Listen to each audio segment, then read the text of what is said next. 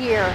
Hundreds of thousands of women are diagnosed with breast cancer, but sometimes a mammogram just isn't enough. And now local doctors have a new tool to help better diagnose the disease. Health editor Dr. Maria Simbra has more new at 5. For women with dense breasts, a regular mammogram may not be enough to pick up a small cancer. Dense breasts have more prominent milk glands, ducts, and supportive tissue and are more common among premenopausal women.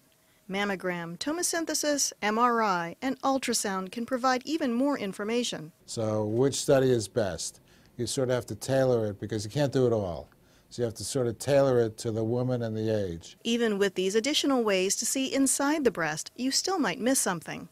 To get a more complete picture, a 3D picture, there is a new technique called automated breast ultrasound, ABUS for short. Allegheny General Hospital has acquired the new ABUS machine. The organization Glimmer of Hope, which helps young women with breast cancer, contributed $175,000 toward the device. They raised money through private donations and corporate grants. Actually, people in Pittsburgh are very generous. You tell people that it's impacting the area, they pretty much give us the money. Because of her family history and her own experience having dense breasts, volunteer Patty Robich felt it was important to help the staff learn how to use the ABUS.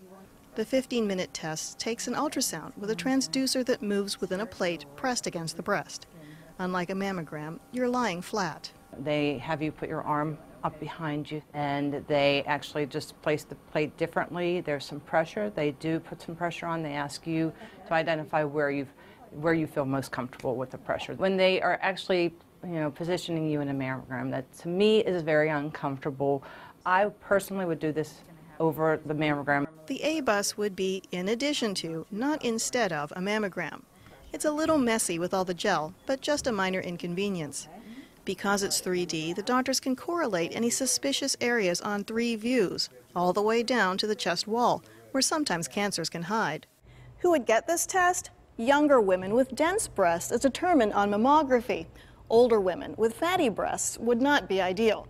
Because the mammogram would have to be evaluated first, getting the ABUS would have to be at a separate visit.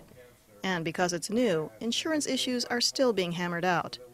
Dr. Poller is glad to have the new tool. Are we picking up breast cancers earlier in these women with dense breasts? And the answer is yes. I'm Dr. Maria Simbra, KDKA TV News.